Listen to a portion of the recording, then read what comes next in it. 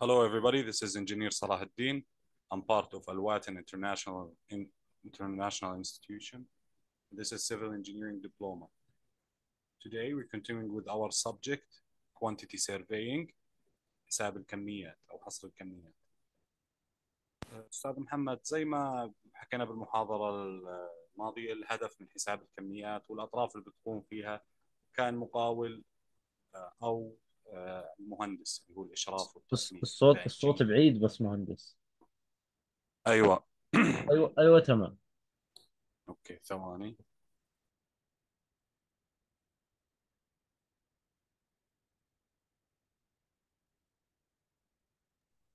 أيوه هيك تمام أستاذ محمد؟ 100% تمام. آه، حكينا عن مقدمة بحساب الكميات. حكينا الأهداف اللي بنعمل فيها حساب كميات نعم. آه، واليوم بدنا نبلش بال- بالمصادر اللي نبني عليها حساب الكميات تبعنا. زي ما حكينا المحاضرة الماضية من المواصفات الفنية ومن اللوحات والمخططات. آه، من اللوحات والمخططات وبرضه من إذا بتحتاج زيارة للموقع. أوكي؟ مثال على المواصفات الفنية جبت مثال على المواصفات الفنية بالأردن. okay المواصفات الفنية المعتمدة. آه، هاي هي هون. تعال بس أورجيك الترويسة تبعه. وهو هذا يعد المرجع الرئيسي للمهندس المدني. هذا هو الكود ما يسمى بالكود. حلو. المواصفات الفنية العامة للمباني المجلد الأول. الأعمال المدنية والمعمارية. نعرف أنه متداخلات نوعا ما فطبيعي يكونوا بنفس المجلد. تمام؟ أكيد. بنشوف مثال عليها. طبعا في المشاركين والمصدقين والمترجمين وغيره وغيراته المقدمة. للكود هاي الجدول يعني زي الفهرس عندنا أعمال. الحفريات مثلا. وبالنسبة للتقسيمة بتشوف هون أنت بالفهرس. بدنا ناخذ بس مثال نقرأ مواصفات فنية لأعمال الحفريات كيف؟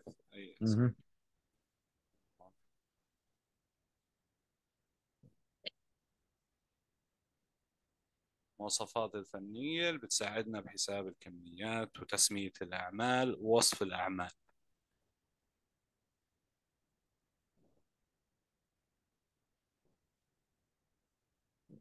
آه.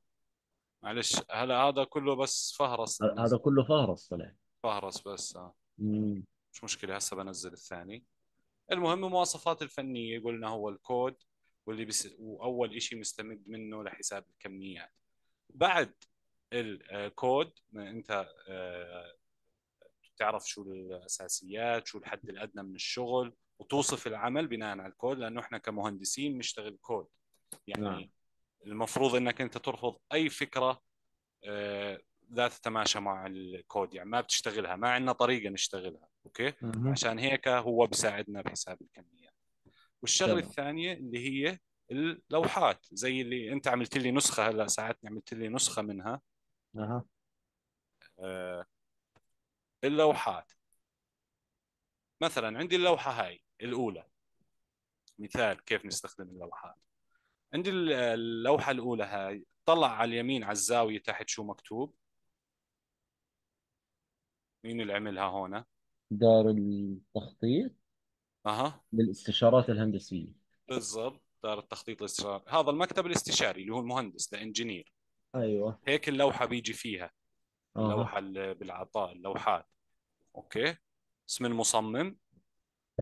هون بعديها اسم المالك كذا كذا. وهون بالحالة هاي مدرسة إحنا مشروعنا. المالك أها. هو وزارة الأشغال. okay. ورقم عندك على AutoCAD مبينة هاي. مش متأكد منها. اللي هي. هاي. المراجع إيش؟ نشوفها آه هاي الثالثة اسم المشروع مدرسة الرب الثانوية للبنين. مدرسة الرب الثانوي البنين هاي هي اللي إحنا راح نشتغلها بمشروعنا نحسب. كميات فيها لكل البنود تمام؟ واللي بعديها إيش هي؟ اسم اقراها اللوحة. اسم مخطط- اللوحة. شو اسم مخطط. اللوحة؟ مخطط العوائق. مخطط العوائق بالضبط. وعشان نبلش إحنا بحساب الكميات أستاذ محمد. بنبلش بالأرض من الصفر مزبوط صحيح. وقلنا إنه آه أنا لما عددت لك البنود قلت لك أول بند اللي هو الحفر والردم. صح. لكن بيجي في قبله بنود يعني حساب الكميات ما إلها ستاندرد أنت أها. شو أنت بتيجي على مشروعك وبتبلش تفصل بنودك زي ما بدك بطريقتك. بس في عرف إنهم ببلشوا من الحفر والردم و و و. تمام. بعض المشاريع قبل ما تبلش حفر وردم بكون في عوائق فيها. عوائق يعني ممكن يكون مبنى قائم قديم بدك تهدمه وتزيله. ممكن. يكون زي حالتنا هاي في أشجار. زائد سياج معدني حول الأرض. هسه بورجيك إياه بالخطوط. تمام؟ فهاي تيجي آه، بسموها أعمال تمهيدية. okay؟ قبل ما تبلش بالحفر والردم بتحط لها بند بحساب الكميات. أعمال تمهيدية. تمام تمام. اسم اللوحة آه، مخطط عوائق. بنفس مخطط العوائق في عندنا إشي ثاني كمان بيساعدنا ناخذ فكرة عن الموقع. آه، شايف الخطوط بالعرض؟ الأحمر والأبيض. الأحمر. الأبيض معظمهن أبيض بس الواحد أحمر. آه. هذول بيمثلوا آه، مناطق إلها نفس الارتفاع ونفس المنسوب. تمام؟ يعني يعني. يعني, زي تعرج هذول مهندس بالأرض؟ آم، مش تعرج عادي هاي شكل الأرض هيك على اختلاف آه، على نفس الارتفاع هذا الخط. خلينا أفهمك إياه أكثر. شايف الأرقام اللي كل سنتي تقريبا على الرسمة في رقم؟ اللي هو اللي هو لو تفتح الأوتوكاد عندك أستاذ محمد. آه هي آه مزبوط مزبوط صح. أوكي. 170 هاي أستاذ 76. محمد اللي هو آه، اللي هو طبوغرافيه الأرض. مناسيب الأرض قبل ما أيوة. تبلش عليها شغل تمام؟ أيوه. بيجي تمام. صاحب الأرض أو المكتب الاستشاري اللي بده بده يقدم العطاء بينزل مساح حلو. تمام؟ بينزل مساح وباخذ له مناسيب النقاط هاي عن طريق أجهزة الإليفيشن اللي هي أجهزة المناسيب. باخذ أيوة. منسوب النقطة. وهون ماخذ أستاذ محمد كل خمسة متر ماخذ قراءة بالأرض. أها. كل خمسة متر قراءة كل خمسة متر قراءة تمام؟ تمام. غطى طبوغرافيه الأرض. وفي عندي برضو الأشكال هاي اللي هي عوائق الخضراء هاي هي أشجار عوائق تمام. و نخل بس نخلص من موضوع المناسيب. كل خمسة متر أخذ قراءة.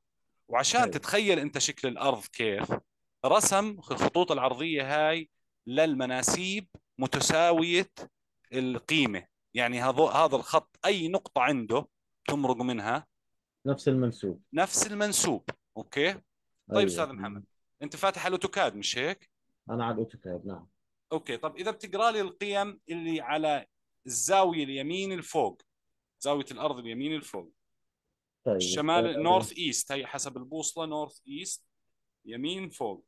عندك سيدي العزيز 384 على 92.61 خلينا نأخذها بوحدة واحدة إحنا بالتسعينات بنعرف صح؟ okay 92.61 اللي جنبها. 92.55 بالضبط. وقلنا بيناتهم خمسة متر صح؟ نعم. نزلنا المساح وأخذنا المناسيب هاي. آه طيب أستاذ محمد إذا تنزل على ال- مثلا الزاوية الشمال التحت. مش هذا اللي تحت. هون سيدي العزيز 99.55 بالضبط. وإذا بتأخذ قراءات حول ال 99 هاي أو الفوق ال 92 بتلاقي إنها من آه زي منطقة منحدرة. أو آه صحيح. عرفت كيف؟ صح منحدرة. هون 99 عالية مهم. وتحت بالزاوية الفوق يعني اليمين الفوق صارت 92 منخفضة. صح. فأنت هيك كمهندس قرأت الأرض. طبعا شو يعني 92 أستاذ محمد و99 هاي مهندس ارتفاع عن سطح البحر لا صح؟ بالضبط ارتفاع عن سطح البحر المناسيب كلها بناخذها بالمتر أوكي؟ بالارتفاع عن سطح البحر. هاي يعني قريبة من الغور يمكن هيك تكون أو على. الأغلب نعم. يعني بغض النظر إحنا هسه هي هاي الأرقام حقيقية يعني لكن آه. بغض النظر أنت المناسيب تأخذ هندسيا بالارتفاع عن سطح البحر. تمام. يعني عرفت كيف؟ بالنسبة لسطح البحر. يعني إذا بدك تعتبر إنه يا أستاذ محمد إنه المنطقة المنخفضة هي صفر. أوكي؟ أها. معناته المنطقة المرتفعة الزاوية المقابلة لها راح تكون سبعة. ارتفاعها سبعة أو ستة سبعة. صح. لكن صحيح. هندسيا نأخذ عن مستوى سطح البحر. فلاحظنا إنه أرضنا هون آه، منحدرة. okay؟ بالشكل مم. هذا. وعرفنا إنه في عندي عوائق شجرية. okay؟ نعم. طبعا العوائق الشجرية حساسة بالنسبة للمهندس أو المقاول. أنت مهندس أو مقاول بتيجي على المشروع إذا في شجر وخصوصا الأشجار الحرجية ما بصير تقطع. يعني فيها مساءله قانونيه وغرامة. آه بدك تبلغ الأمانة أو ال... بالضبط. هسه وممكن تؤدي إلى الحبس إذا بتقطع أي شجرة حرجية.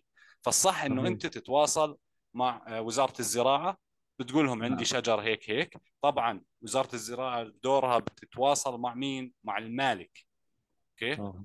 مع أيوه. المالك. وبتقول له إنه قديش راح تكلفه آه إزالة و يعني مش إزالة تغيير موقع هي باعتبار انه ما في إزالة للحرجي بقولوا للمالك راح تكلفك آه تغيير موقع نقلها إلى مكان ثاني كذا كذا.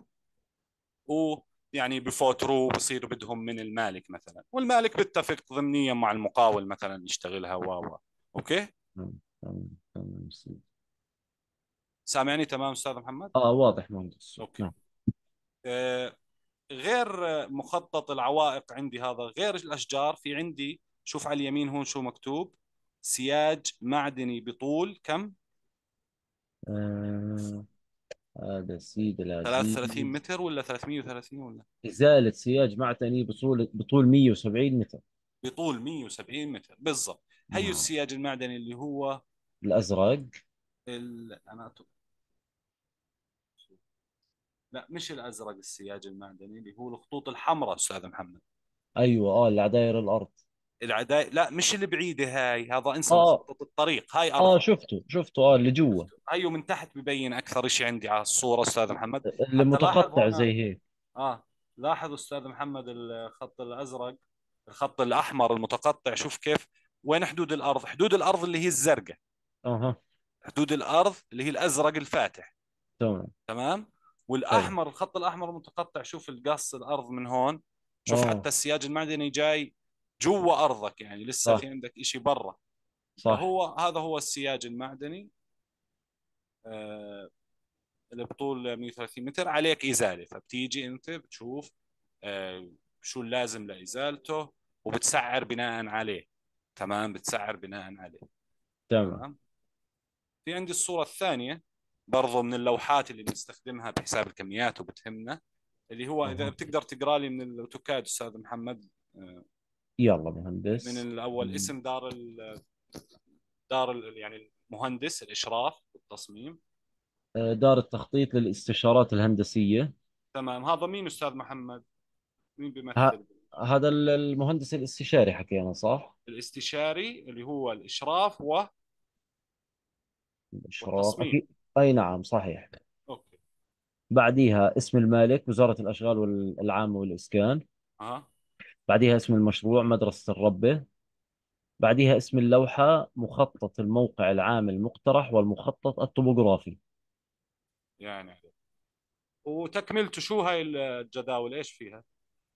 آه هدول التعديلات مقياس الرسم بس مش كاتبين فيهم شيء مهندس. اليوم والتاريخ.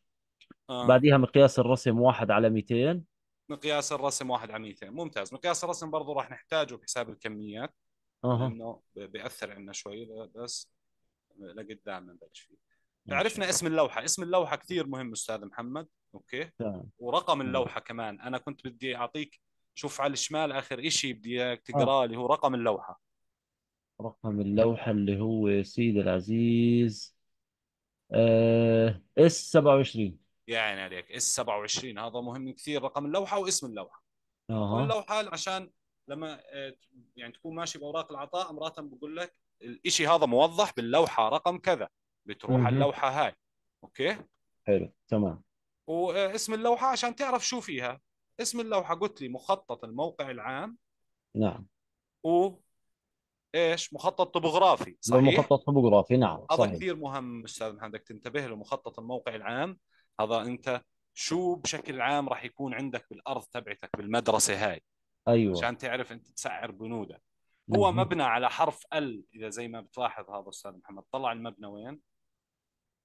آه صح على حرف L. مبنى على حرف L okay. نعم. وطبعا هون في هذا زي فهرس المناسيب هون بيعطيك منسوب لكل منطقة. بتقدر تقرأ لي إياهن من ال AutoCAD أستاذ محمد؟ سيدي العزيز مناسيب. منسوب. منسوب بلاط طابق التسوية 92 okay.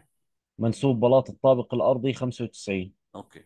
منسوب بلاط الطابق الأول 98.64 وإيش اقرأ لي من الآخرانيات إيش في غير منسوب بلاط؟ آه عندك سيدي العزيز عقدة مكرر الدرج 109 okay. وبلاط غرفة الحارس 94 وعقدة كل غرفة الحارس كلها 97 مناسيب لعناصر إنشائية يعني. بالضبط. okay. تمام. أستاذ محمد. آه فعندي هنا من مخطط الموقع العام. قلنا آه ضروري كثير. هاي المبنى على شكل حرف ال ويحيطه زي رصيف. آه. رصيف زي ما بتلاحظ عشان تعرف تقرأ المخططات. وبدك تشتغل مشاريع كثير وتنزل على الموقع كثير أستاذ محمد. تا تترسخ المعلومات وتا يمرق عليك وبالخبرة لأنه حساب الكميات موضوع واسع. ويعني بده تركيز حساس يتعلق بال, بال... بال... يعني أكيد. المادة والاقتصاد ولازم يكون دقيق. صح. فننزل على المشروع كثير.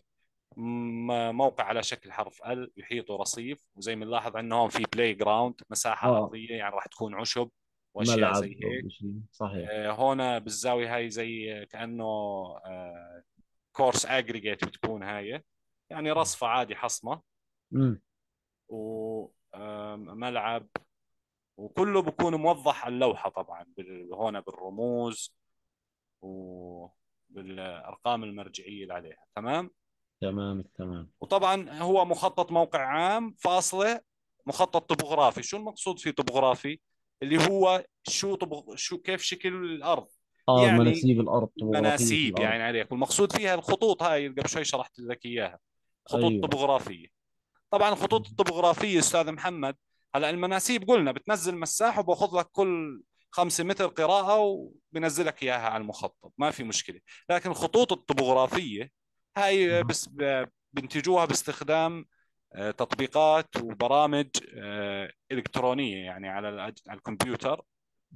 عنده هو بنزل قراءات والأخذات الخمسة متر ويتم رسم مخطط طبوغرافي عن طريق التطبيقات أو بتجيبها جاهزة الدولة عندها مخططات طبوغرافية لعدة مناطق يعني لمعظم مناطق بالأردن. مهم. تمام؟ تمام تمام. okay. أخذنا المعلومات اللي بدنا إياها للبداية. okay. وأنا ليش حطيت هذا هاي بتكون من اللوحات الأولية؟ لأنه هاي الص- الصوت الأعمال مهندس. آه المعذرة. هاي لأنها من الأعمال ال... ال... قبل ما نبلش بالموقع قبل ما نبلش بالأعمال الإنشائية. تمام؟ أها. تمام. فعندنا أشجار وعندنا إزالة سياج. تعال نشوف آه كيف شكل جدول الكميات. وبناء على إيش إحنا بنشتغل فيه وكيف بنشتغل فيه. أوكي. تمام. آه طبعا هذا اقرأ لي أنت ال- الترويسة. المملكة الأردنية الهاشمية وزارة الأشغال العامة والإسكان عطاء رقم والخاص بتنفيذ مدرستي مدرسة الربة الثانوية بنين محافظة الكرك إضافة إضافة مدرسة الربة الثانوية بنين محافظة الكرك. بالضبط. واي جزء من العطاء إحنا؟ الجزء الثاني جدول الكميات. أيوه. okay. الجزء الأول شو كان أستاذ محمد؟ المخطط المخطط الطبوغرافي حكيناه. لا الجزء الأول من العطاء بيكون بالعادة المواصفات الفنية. أيوة آه آه آه.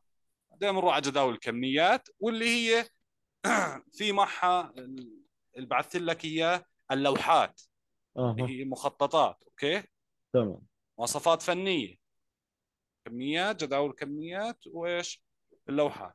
المواصفات الفنية اللي حكينا عنها المحاضرة السابقة مهندس صح؟ نعم حكينا عنها المحاضرة السابقة اللي هي تمام. بتكون آه، يعني تكتب لكل مشروع لكن هي من ال- الكود الأردني okay؟ أها ما تمام بتتعارض الكود الأردني لأنه إحنا ما بنشتغل شيء مش صح وبالتالي كمان غير قانوني حسب بتعرف التراخيص وغيره وغيراته لازم تكون مشتغل صح okay؟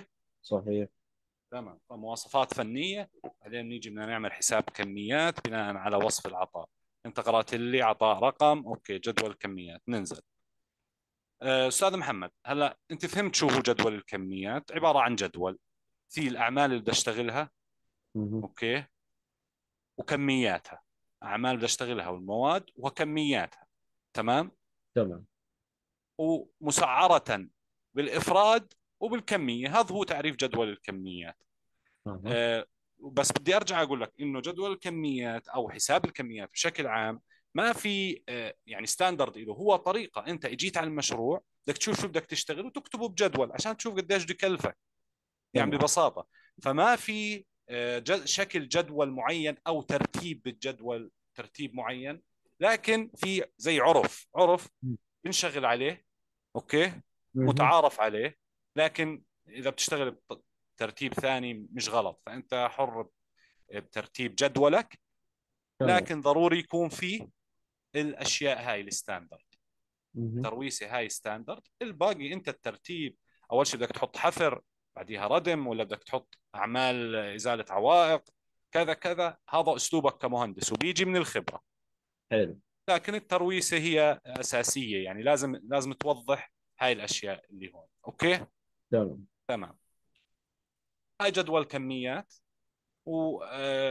وكويس أنت بالبداية تشتغل على الجدول هذا وتشوف طريقته وتحفظها لأنه هذا ماشي على العرف. الترتيب اللي راح نستخدمه بالمشروع هذا أستاذ محمد. يعني هو- يعتبر يعتبر مرجع خلينا نقول. يعتبر مرجع نعم. تقدر أنت كمهندس تبلش تشتغل على الاساس هذا هو العرف وهو يعني الأصح والأسهل. نعم. بلش أول شيء بتعريف آه، الجدول تبعه. بس هاي عملية تعريفية. لازم يكون عندي رقم الرقم رقم للبند اللي بدك تشرحه. لازم تحط له رقم. تمام. أوكي كان مهم. أنت قاعد تصمم بدك تعمل جداول كميات ولا بتسعر بدك تعمل جداول كميات؟ أيوه. بغض النظر. تمام؟ تحط مهم. رقم آه، البند اللي بدك. تاخذه بعدين بيان العمل. شو اسمه؟ شو العمل اللي بدك تعمله؟ آه، شو طريقة العمل؟ okay؟ وشو مثلا الم- المواد إذا في تفصيل للمواد المستخدمة فيها. زي هيك. تمام. تمام؟ تمام تمام. فهي بس آه، تمهيدية آه، وفيها برضو بعض القواعد للتنفيذ يعني. يعني مثلا يمثل هذا الجدول شو في الجدول؟ نموذجا للكميات الأعمال المدنية والمعمارية والميكانيكية والكهربائية. وقد تم اعتماد المواصفات العامة الصادرة عن إيش هي المواصفات العامة؟ المواصفات الفنية. تمام. الصادرة عن وزارة الأشغال والإسكان. أما الأعمال التي لم يشر إليها بأرقام بنود هذا التفصيل كويس هلا بتنتبه له. هي تعتبر أعمال لا تقع ضمن مواصفات الخاصة. okay، مش المواصفات الفنية العامة مواصفات الخاصة. وتنفذ حسب المواصفات اللي وضعت لها في هذا الجدول أو المواصفات الخاصة. يعني الأعمال اللي البنود بقول لك ما لها رقم هاي لها آه. مواصفات خاصة مش من آه، كود المهندس يعني مش موجودة مثلا. أيوه. آه، إلها مواصفات خاصة ومشروحة هون. أيوة يتم الإشارة إلى رقم آه، مكتوب إنها يعني في هذا الجدول. مهم. تمام؟ التي وضعت أيوة. لها في هذا الجدول. ففي شيء اسمه مواصفات خاصة ننتبه عليه. الماء له رقم مم. بند بيكون مواصفات خاصة. تمام. هون ببلش جدول حساب الكميات يا أستاذ محمد. وأنت قلت لي بدي أبلش بالحفر والردم. قلت لك ما بنقدرش نحفر من أول لأنه عندي أشجار حرجية وفي. عندي أعمال ما قبل الحفر والردم ما قبل. أول خطوة إحنا فصلناها اللي هي الأعمال التمهيدية مسمينها هون أنت حر بالتسمية تمام. الأعمال التمهيدية اللي هي قبل ما أبلش شغل نر قلنا بدنا رقم للبند لكن لاحظ ما له رقم البند حطه زي حرف ألف. ألف. يعني مواصفات خاصة بده يكون تمام تمام. ما له شرح بالضبط بالمواصفات الفنية فله مواصفات خاصة بده يحطها مهندس الإشراف. صحيح okay. الأعمال التمهيدية شو هي؟ مقسم لي إياها حسب وحدة القياس فيها. okay؟ حسب. وحدة القياس. في أعمال تمهيدية عندي بالمتر الطولي تعال نشوف شو هي. بجوز تكون عمل واحد بجوز تكون عملين بالمتر الطولي. لكن هو واضح إنه علم واحد لأنه قال لي بس واحد. ما صح. فصلها واحد واحد بعديها واحد اثنين لا واحد. وفي عندي أعمال تمهيدية ثانية بالمقطوع. بالمقطوع. أه، أستاذ أه، محمد اقرأ لي شوف لي اقرأ لي هاي المواصفة لو سمحت. هدم وإزالة سياج معدني داخل حرم المشروع وجميع ما يلزم من قواعد خرسانية وأعمدة وأية أجزاء أخرى ومهما كانت السماكة أو الارتفاع ونقل الأنقاض إلى خارج الموقع آه، إلى الأماكن المصرح بها من الجهات المختصة وحسب تعليمات المهندس المشرف. بالضبط. أستاذ محمد أنا بدي إياك تقرأ عشان آه، تحفظ تتذكر. فهمت عليك. لأنه طريقة الصياغ بال... لما تكتب مواصفة حساب صح مهمة جدا وبدك تعرف تغطي كل شيء عشان أنت ما تقع بأوا... بأوامر تغييرية مع المقاول. أكيد ف- أكيد فاطلع سيدي هو شو مش بس سياج معدني وله قواعد خرسانية بتعرف في عمدان آه. السياج كل فترة بحطوا عمود وبيعملوا له قاعدة دبش صح. واسمنت صح. فكتب له كل ما وجميع ما يلزم. قواعد خرسانية بدك تشيلها أعمدة بدك تشيلها وأي أجزاء أخرى. ونقل الأنقاض إلى خارج الموقع. مه. والحساب وننتبه. بالمتر الطولي. المترو الحساب لجانب العطاء. لازم بس أعمل حساب كميات وأسعر أطابق الوحدة تبعتي. أوكي؟ صحيح. أطابق الوحدة تبعتي. لازم أحسب بالمتر الطولي لما أروح اسعر مه. مش أجي هون أنا أعدل على الجدول وأقول له بالمتر المربع وحسبت لك إياه بالمقطوع بكلفك كله. لا. بده متر طولي. عندي آه، 170 متر. الصوت بعيد مهندس. آه بده بالمتر الطولي. يعني نعم. عنده 170 متر هو قال لك. تيجي آه تيجي بتقول له سعر الإفرادي بالأول سعر المتر عليك بيطلع 30 قرش مثلا إزالة. بالضبط. الاجمالي اللي هو السعر الإفرادي ضرب الكمية نعم. بالمتر الطولي. أوكي. الأعمال التمهيدية الثانية اللي بالمقطوع موجودة. اقرا لي إياها أستاذ محمد. خلع وإزالة الأشجار من الموقع من مع الجذور والتربة حولها وتسييبها للمالك مع أخذ الموافقات اللازمة وحسب تعليمات وزارة الزراعة. أيوه بالضبط. لاحظ كيف الوصف؟ بخلع وإزالة الأشجار من الجذور لأنه مش بس تقص مثلا وتصب عليهم وتكمل ولا ولا صح. لا من الجذور والتربة حولها. مه. وتسليمها للمالك. نعم. يعني كاملة يعني بدك تحسب حساب بدك تلف له التربة بالإزالة ضروري تحفظ التربة حول الجذور بتعرف نعم صح. فهاي من البنود اللي بدك تنتبه. تيجي أنت على السياج okay؟ بدك تزور الموقع ممكن. آه بتشوف قديش بكلفك بتشوف أنت وين الموقع محافظة الكرك مدرسة الربة.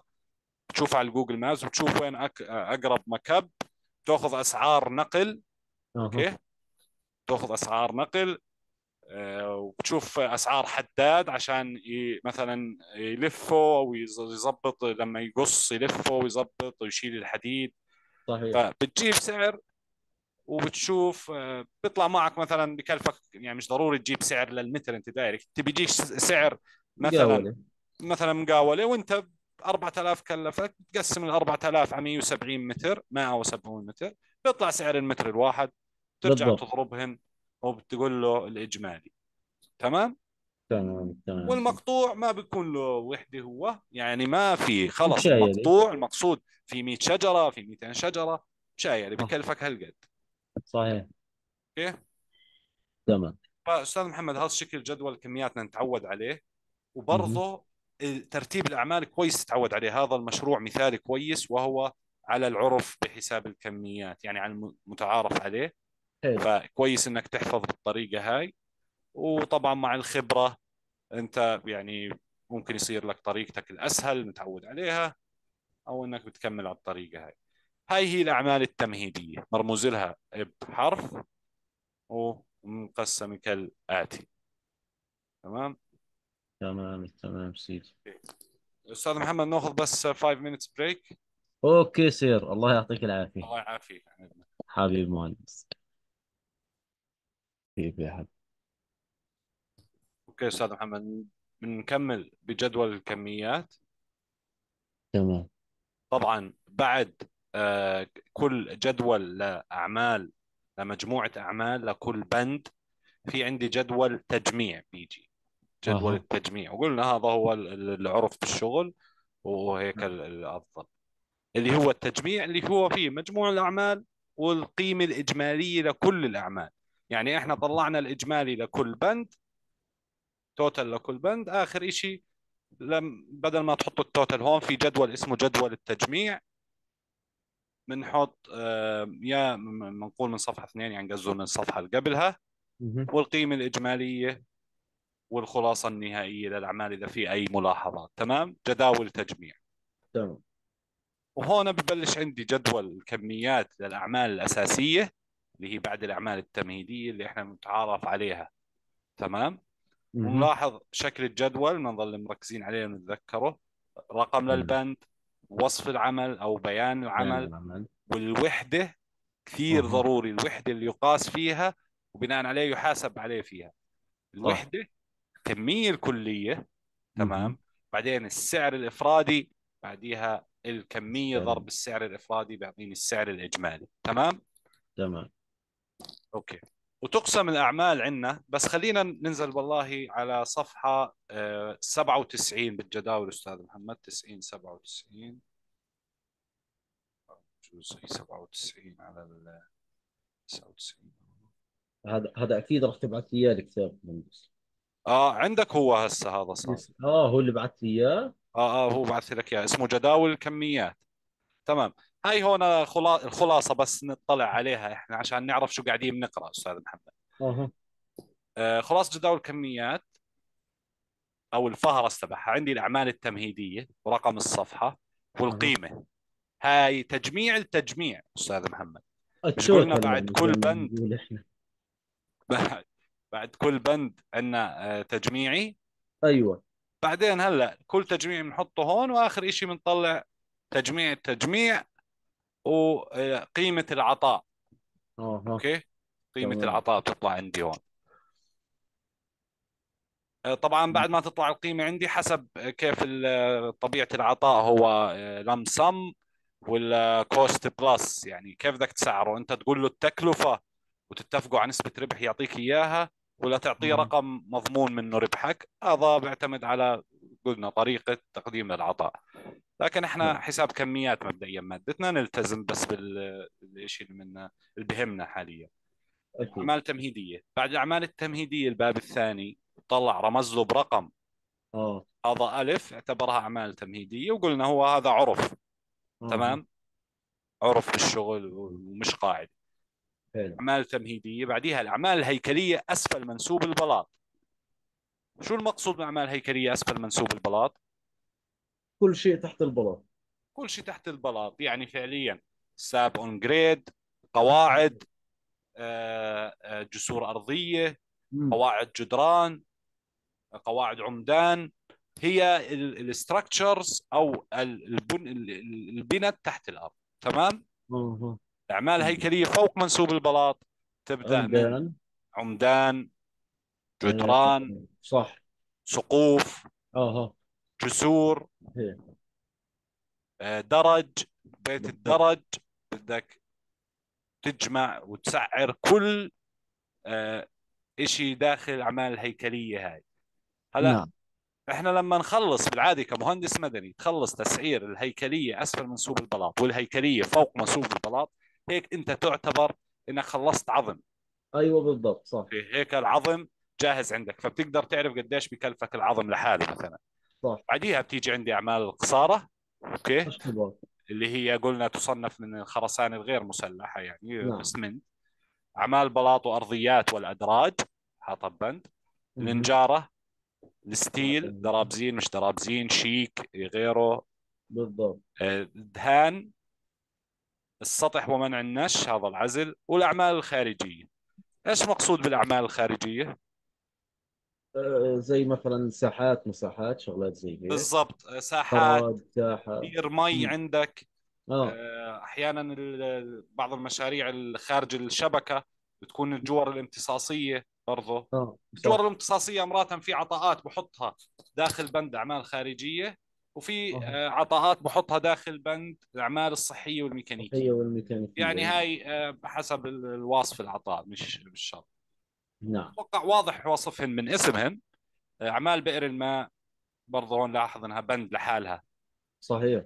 الاعمال الخارجيه ممكن تكون أسوار بوابات أرصفة. حاله مهم. مشروعنا أرصفة عندنا تحيط بالمشروع. أعمال كهربائية وصحية وميكانيكية. تمام. إحنا راح نسعر وراح نشتغل حساب كميات لحد آه، بلاط وأرضيات وأدراج. تمام. هذا اللي إن شاء الله راح نشتغله بمادتنا بالمقرر أوكي. ممتاز والأشياء الثانية يعني ضمنيا أنت راح تكون عارف كيف شغلها تمام؟ أصلا أصلا مهندس الشغلات الثانية يعني اسمع أنا أنا ب- بس نكمل أنا بكمل لك المشروع لحالي على الشغلات الثانية. أنا إن شاء بهمني الله. أنا اتفقنا. بهمني الش... بهمني الشغلات الأساسية. اتفقنا. أنت وكمان آه اليوم الملاحظة اللي حكيت لي عنها الموقف اللي صار معك. آه اسمع موقف. إحنا. بالأعمال موقف يعني. عاطفي صراحة آه. والله بس شوف حتى آه، لقدام يعني إن شاء الله ما يتكرر لكن الله. لأنه أنا قلت لك آه، مجال واسع جدا وبدك خبرة أستاذ محمد بدك ممارسة صح. بدك آه، تنزل صحيح على المشروع وتشتغل امم برضه تمام؟ ننزل على بالضبط. المشروع. بالضبط صحيح. أوكي. فهذا هو وصف الجدول الكميات تعال نقرأ الأعمال عمل عمل ونشوف كيف من وين بنجيب المعلومات اللازمة لحساب الكميات باستخدام اللوحات. راح تمام. نشتغل على اللوحات. من المحاضرة الجاية ال AutoCAD راح يكون م share عندي لأنه راح يكون شغلنا لوحات ومواصفات فنية رح تجينا وهون على جدول الكميات direct. تمام سيدي. أوكي؟ تمام تمام. طبعا بيان العمل هذا قلت لك آه، كل حدا له طريقته لكن مهم. هو بيكون من المواصفات الفنية أوكي؟ بيكون من المواصفات الفنية بنجيبه لأنه بنشتغل إحنا على الكود. تمام؟ نعم. اولا مجموع الأعمال الهيكلية أسفل منسوب بلاط الطابق الأرضي أو الطابق الأرضي أو التسوية في حالة وجود تسوية. هاي التفريع تبع البند. أها. أوكي. أه تكال الحفريات للأساسات والخنادق حسب البند 2 أه 5 على 212 من الباب الثاني. كيف تكال؟ شو يعني تكال؟ يعني تحسب. تحسب. تقاس تقدر نعم. أوكي؟ تكال. تمام. من حسب البند الثاني من الباب حسب البند كذا كذا من الباب الثاني. بنروح على المواصفات الفنية. مهم. ماشي. مثلا الحفريات هي الباب الثاني. حفريات. وشو الرقم؟ هو اللي أعطاني إياه بجدول الكميات. 212 5 212 على 212 5 أوكي. بنزل تحت زي هيك بشوف وين 212 على 5 وبشوف كيف بدهم يكيلوا لي إياها عشان برضه أعرف كيف بدي أسعر مش هيك؟ صحيح. هاي. أروح على المواصفات الفنية. هاي هاي. 212 على 5 مهم. اقرأ لنا إياها أستاذ محمد. تكال الحفريات كيلا هندسيا بالمتر المكعب. حسب الأبعاد والمقاسات المبينة الم- الم- المبينة على المخططات والأعماق التي يتم حفرها فعلا. وفق تعليمات المهندس الخطية. وتكال مسافات العمل الم- المبينة أدناه إضافة إلى ما ورد أعلاه. إذا إذا نصت المواصفات الخاصة على ذلك على أن يتم حفر تلك المسافات فعلا آه، ألف آه، ربع دينار للمتر من وجه العنصر الإنشائي المقابل للحفر والذي يحتاج إلى طوبار لحفريات لا تزيد أعماقها على المتر واحد من منسوب الأرض الطبيعية أو منسوب التسوية أيهما أقل؟ خلص تمام تمام بكفي ف عرفنا من البند اللي نص عليه إنه شو الوحدة عندها بالكيل؟ المتر المكعب. متر مكعب حسب الأبعاد. والمقاسات المبينة على المخططات. أوكي؟ يعني الأبعاد والمقاسات من وين بنجيبها من المخططات. والأعماق من وين؟ برضو من المخططات. لا الأعماق آه التي التي يتم حفرها. فعلا. فعلا. آه صح. وانتبه لأنه الأعماق امرات بيطلع مثلا حجر معه بيطلع مغاره بيطلع إشي صح.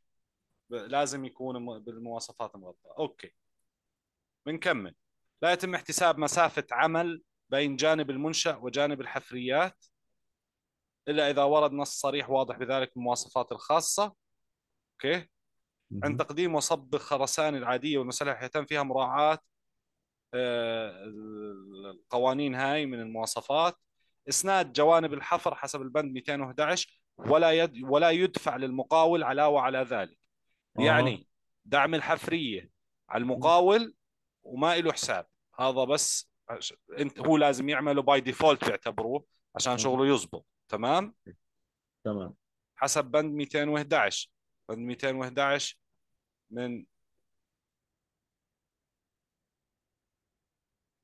إسناد 211 جوانب الحفر. يجب على المقاول ولا وعلى مسؤوليته الخاصة أن يقوم بإسناد جوانب الحفر منعا لانهيارها لحماية العاملين والأعمال التي بداخلها على حد سواء ولا يدفع إلى المقاول علاوة أو سعر إضافي مقابل ذلك. مقابل لذلك. أوكي؟ تمام هاي من مسؤوليات المقاول. هذول أنت بعت لي إياهم الكتابين صح مهندس؟ أه هسه بتأكد شو بعثت لك بالضبط ولا مش بعثه ببعث لك إياه. قبل ما أسكر أنا عشان ما أنسى كمان ف تمام أوكي. جداول الكميات. نيجي لأول إشي عندنا بجداول الكميات. البند رقمه واحد على واحد على واحد. أوكي. تمام. بالمتر المكعب. مهم. هاي أول إشي بواحد على واحد بالمتر المكعب. الوحدة هون متر مكعب. أعمال حفريات من كل نوع وحسب البنود. كذا وكذا وكذا من الباب الثاني باب الحفريات. أها. ويشمل سعر الطمم على طبقات حسب البند كذا وكذا. شايف انت من وين بتسعر؟ آه. يعني مش بس من جداول الكميات قاعد بتسعر. قاعد بتسعر من البنود بتشوف شو الطبقات حسب البند. بروح على البند 208 وبشوف الطبقات عشان أشوف قديش بدها تكلفني. هذا ال... 208 هذا ال- الكتاب المرجع يعني مهندس خلينا نقول. يعني هذا أستاذ محمد الكتاب هو أنا بعتبره يعني يعني استغفر الله العظيم اللي هو وصلت وصلت كتاب القواعد الأساسي للمهندس المدني. يعني اللي زي إيش بدي أقول لك؟ كيف كيف ال dictionary للإنجليزي؟ قاموس. هذا أها. قاموس للمدني. حلو هو كود حلو. أردني لكن مبني على الكود البريطاني. و- وللعلم يعتبر الكود الأردني بما إنه مترجم من البريطاني يعني ومستند على آه، معايير بريطانية هو يعتبر من الأقوى والأكثر تشددا والأكثر امانا والاعلى جوده يعني لا يعلى عليه. لكن. إذا إذا بنمشى عليه ومع الأسف صعب امراتا الناس تلتزم.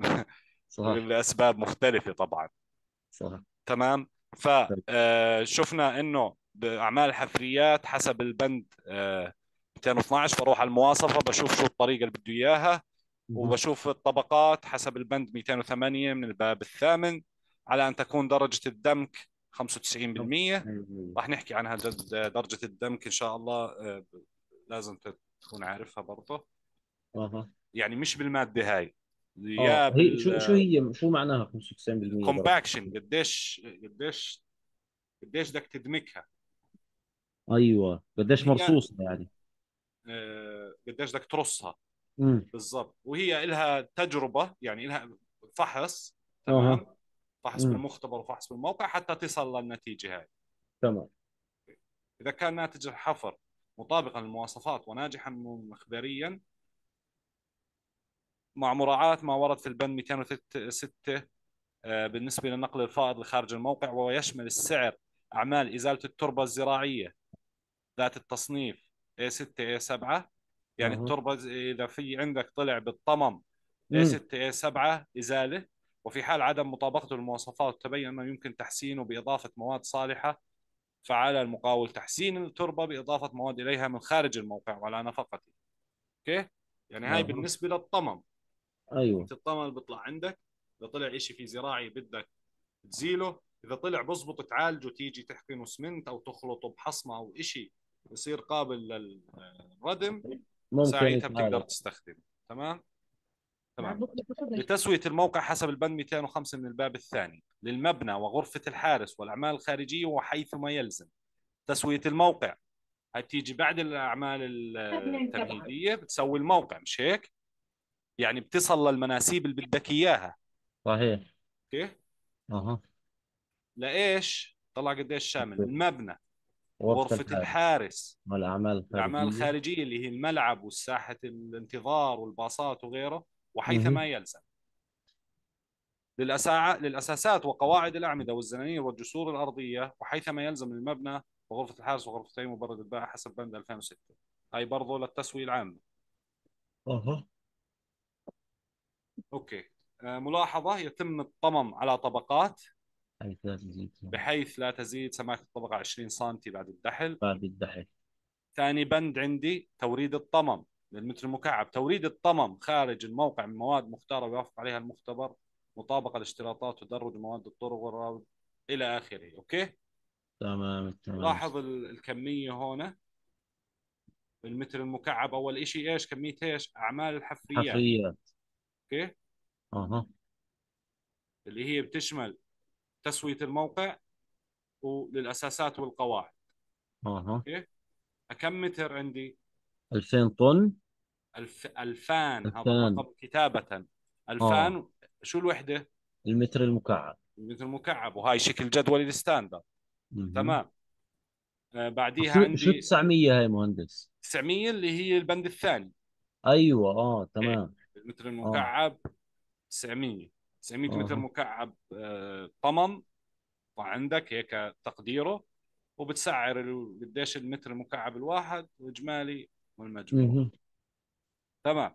شو في عندي كمان آه البند اثنين. خلصنا البند اثنين واحد. لا هذا تابع. لاحظ تابع. أوكي؟ تابع للبند اثنين. آه. مشترط هون في ال density test أوكي؟ كثافة الموقع. فحص امم كثافة التربة للموقع هذا. مشترطه برضه. أوكي؟ وشوف قديش عندي. هذا لا هذا خلص سعره فوق كان. مع 900 أوكي؟ مع البند أستاذ محمد بعدنا باثنين. اثنين آه. واحد. 2 1 تمام؟ هلأ البند الثالث. 3 1 توريد يعني هو يجيب المواد. توريد وفرد فرشيات حصوية base course base course حصمة. من حصمة امم متدرجة أو حصمة سيل أو خليط حصوي. أوكي؟ عنده ثلاث امم خيارات هذول. تمام. حسب مواصفات الطرق خالي من المواد العضوية وأي شوائب أخرى. تمام؟ أها. قديش عنده؟ عنده 2200 متر. 2200 متر متر مكعب. مكعب. آه. طبيعي يجي بنعرف إنه المتر المكعب كمياته. آه، ثواني بالله هسه هو تقديم وصب متر مربع عامله ال 1400 متر مربع. والله استنى أشوف. هاي واحد البند واحد 2000 البند اثنين 900 البند ثلاث بالمتر بالمتر المكعب. تمام؟ والله كثير كمية كبيرة. صح؟ صح. يعني توريد خلينا نقرأ بالله ال- المواصفة كاملة بيان العمل. مم. توريد وفرد فرشات حصوية base course من حصمة متدرجة السير حسب البند. بعد الدمك بواسطه مداحل هزازة ميكانيكية للحصول على درجة دمك 100% حسب تجربة بروكتور المعدلة والسعر يشمل دمك الأرض. قبل فرش المواد مباشرة وكل ما يلزم حسب المخططات وتعليمات المهندس الشيء والكمية وذلك المبنى غرفه الحرس وغرفتي الماء والتبريد. خليها بتأكد من الأرقام لكن ممكن تكون عادي صح. أها. تمام؟ عندي إيش بيجي هسه البند الرابع؟ بلش بالخرسانة. امم بالمتر المكعب. تقديم وصب خرسانة عادية درجة 15 مع دبش. مزي صلب حسب البند كذا على ان تزيد نسبة الدبش عن 30% نسبة الدبش 30% والباقي شو بده يكون؟ آه كنك آه شو اسمه خرساني خرسانة. أها بالضبط من الحجم الكلي وذلك للركب الخرسانية. أوكي؟ للركب الخرسانية. شو الركب الخرسانية مهندس؟ القواعد يعني؟ قوا... بالضبط. قواعد. خرسانية أو إذا في تعليات لإشي بدك تر- ترفع أيوه منسوب بالأرض بيعملوا له زي ركب خرسانية بتكون إذا في مثلا أعماق بدك تسكرها بيرموا دبش. تمام؟ وبعدين بصب. وبصبوا عليه عشان التماسك. تمام.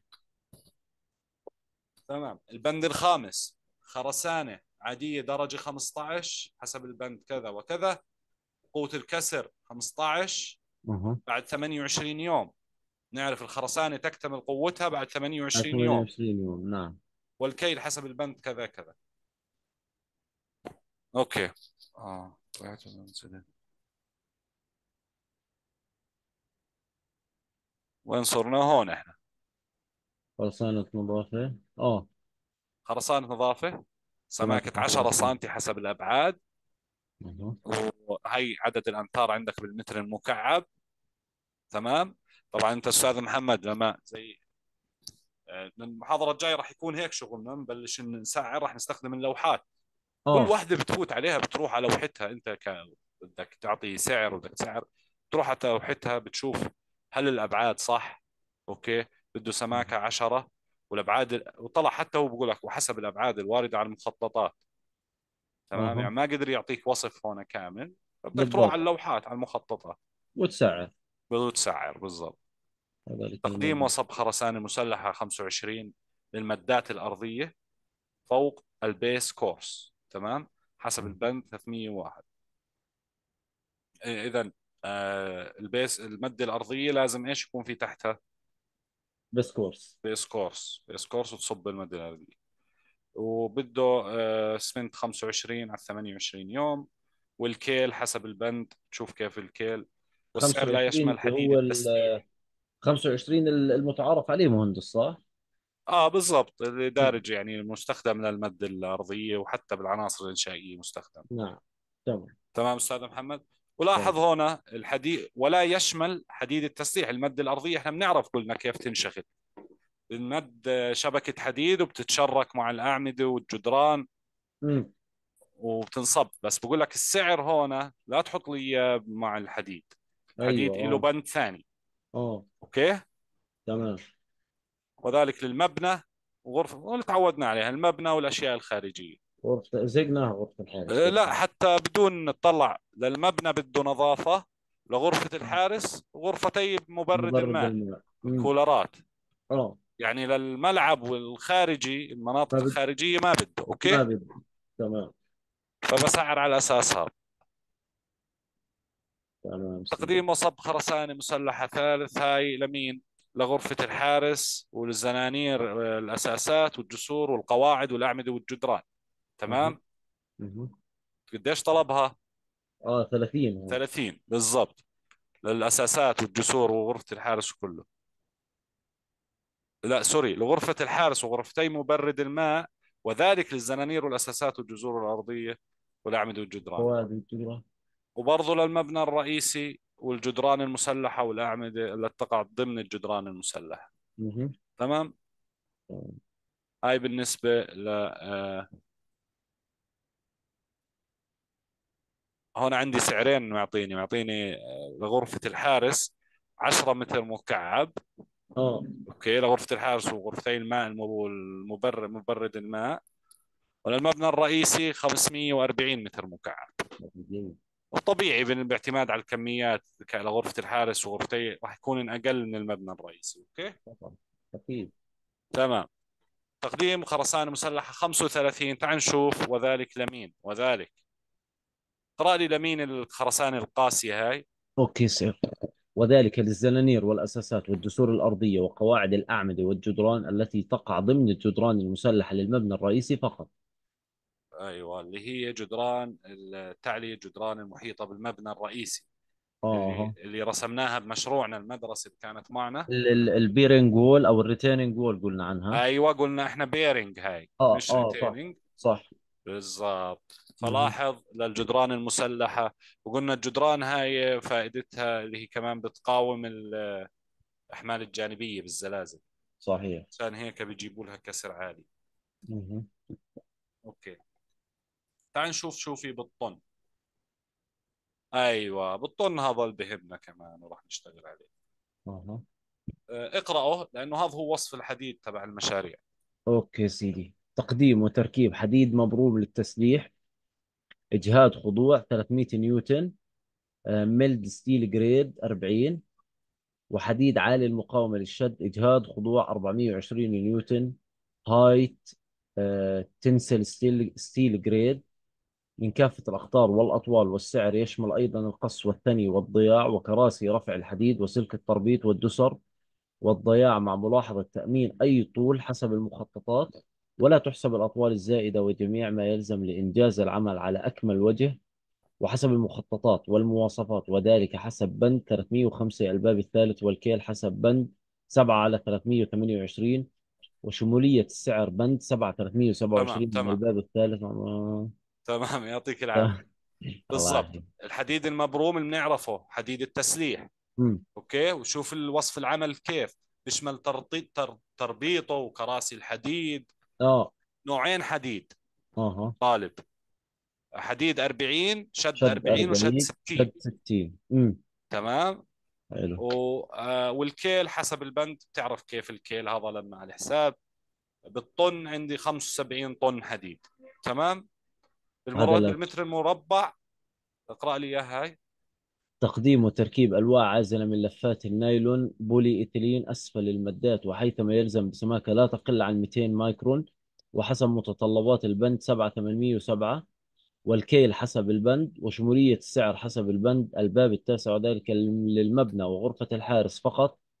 سماكة 5 سنتيمتر أسفل عزل بولي إيثيلين.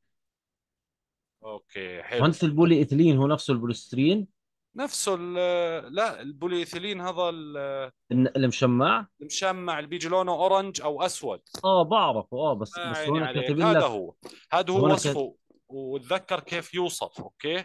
ألواح امم عازلة لفات أسفل المدات والسماكة. لأنه ترى في مشمعات خفيفه بتيجي. بعرف. آه عندنا منهم بالمحل في خفيف وفي ثقيل يا بعرف. عيني عليك. بتعرف مم. أنت محل مواد البناء؟ في خفيف في ثقيل. هاي وحدة قياس السمك 200 صح. مايكرون. يعني 200 امم مايكرون تعرف سمكات يعني دقيقة جدا هاي. صح. أوكي؟ فهو طالب هون عزل تحت المدات. أوكي؟ تمام. وحيثما يلزم حسب متطلبات البند. بتروح على المواصفات الفنية أها بتشوف وين لازم تحط بولي إيثيلين وبتسعر. بيطلع لازم تحط تحتهم 1400 1400 متر مربع. أوكي؟ ترى آه، أنت بس الأرقام شايفها كبيرة بس أنه المساحة كبيرة تبعت الأرض. مدرسه آه، برضه بالضبط صح صح. أنا هسه وصلت الفكرة. أوكي. وشمولية السعر حسب بند الباب التاسع وذلك للمبنى وغرفة الحارس فقط. أوكي؟ أها يعني الشغل هذا بده إياه للمبنى وغرفة الحارس فقط. أوكي؟ أها تمام. ألف آه، سماكة 5 سنتيمتر أسفل عزل بولي إيثيلين. ثواني إيش هاي 5 سنتيمتر؟ أنا هاي اللي سألتك عنها اللي أعتقد حاطين بوليسترين بس لا بحطوش بوليسترين على الأرض صح؟ لا. بوليسترين بنحط في ال- بين الحجر والطوب بالعقدة. يا أخي صح والله بدي أسألك سؤال ونسيت. البوليسترين ليش بحطوه في العقدة؟ شفته بكثير مشاريع مهندس. والستريم بالعقدة؟ والله بتعرف في مشروع بكرة بدي أصور لك إياه وأبعث لك إياه. البرندات من برا عاملين لهم آه cantilever ولما فكوا طبار العقدة يا أخي كله بوليسترين ولليوم. كنت بدي أنزل أسألهم بيني وبينك وما رضيت بس بكرة بدي أروح أسألهم إنه ليش والله حاطين يا ريت بوليسترين وصور لي عشان يعني أفهم. بكرة بكرة إن شاء الله راح اصور لك إياها وراح أسأله بإذن الله. okay بس في إشي هون doesn't make sense. هاي الألف أنا حاسها مش إلها هاي. لأنه ما بتيجي هاي هون يا أخي. 1400 okay هاي 1400 متر مربع متر مربع. النايلون صح عادي. ما هي أصلا بتيجي طولها متر آه، طولها 100 متر وعرضها 50 5 متر يعني 500 متر مربع هي أصلا. اللفة. هاي هاي غلط الألف هاي مش موجودة. آه صح. مش موجودة ألف. ألف مم. هون أوكي.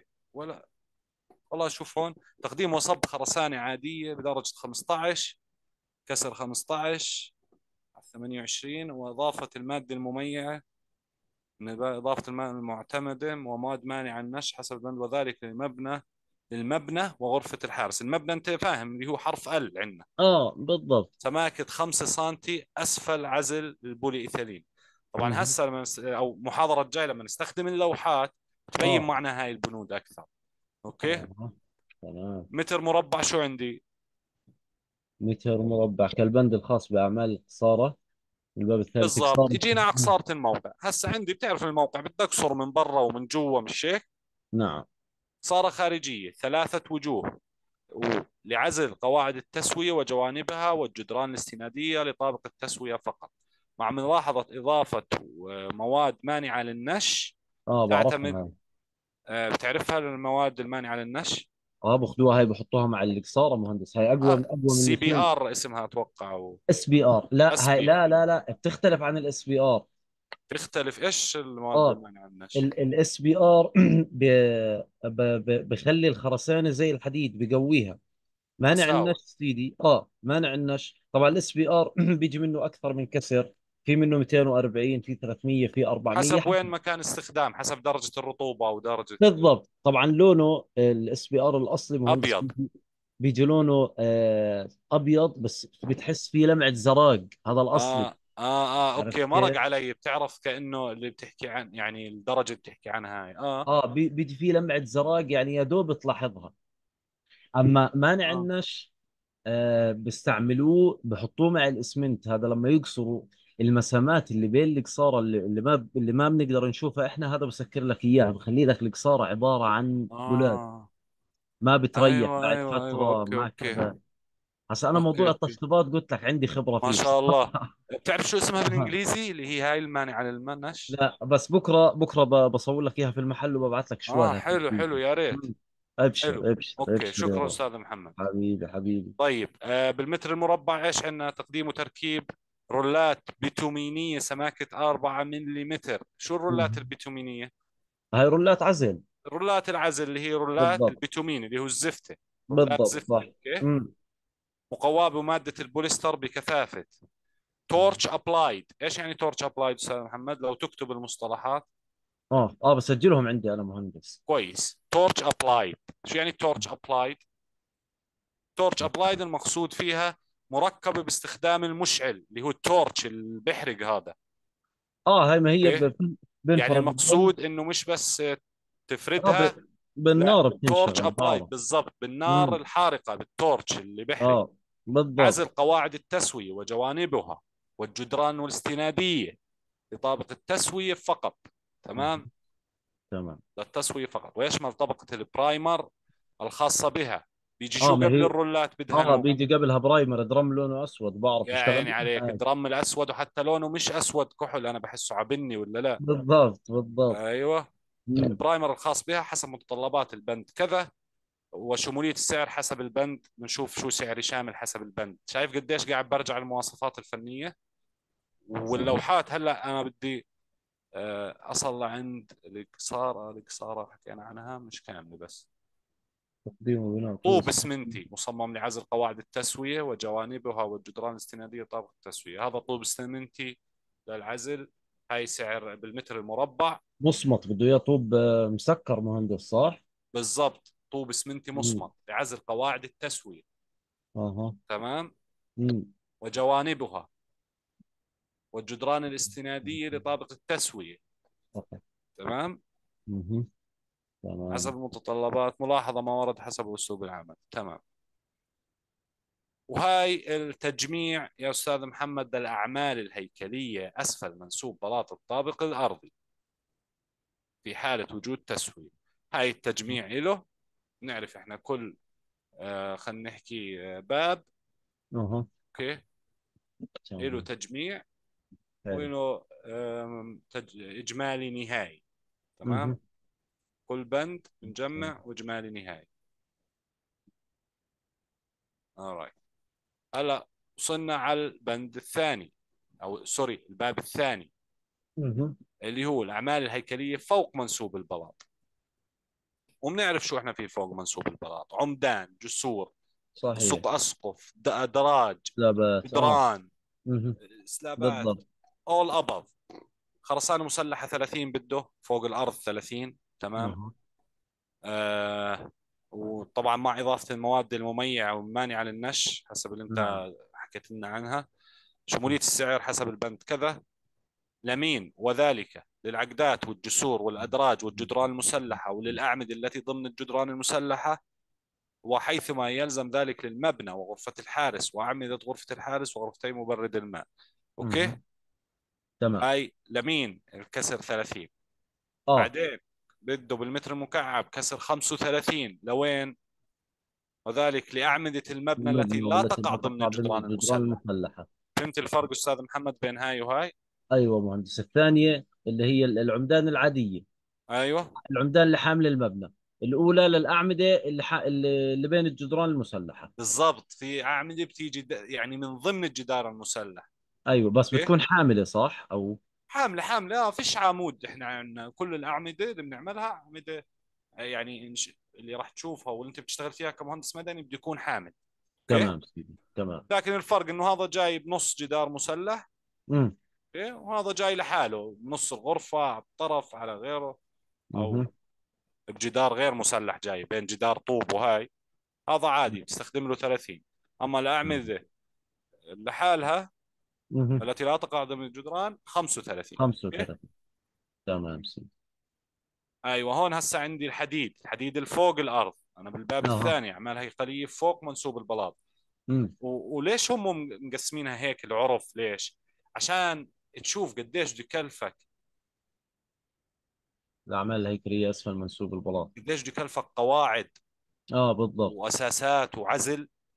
وتشوف. قديش بده يكلفك؟ عظم فوق. بالضبط صح. فوق منسوب البلاط okay؟ فهذا العرف كثير كويس وتمشي عليه ما راح تنسى شيء شغلك بيطلع مرتب إن شاء الله. بإذن okay. سيدي. شفنا خرسانة 30 و35 حسب المنطقة حسب أها. المكان. آه، تقديم تركيب حديد هاي حديد التسليح تبعنا. أها. فوق الأرض. steel 40 وبده steel 60 وين؟ والسعر طلعوا السعر يشمل قص ثني وكراسي رفع الحديد والتربيط. أها. إيش أستاذ محمد؟ الأربعين للكنات والستين شد الحديد العادي قلنا صح؟ على الاغلب هيك راح يكون استخدام منها. أها. الثلاثمية أعتقد هو الكنات والأربعمية وعشرين الحديد العادي. الحديد ال 60 اللي هو حديد الشد بالضبط. تمام سيدي ثواني أستاذ محمد بس. خذ راحتك.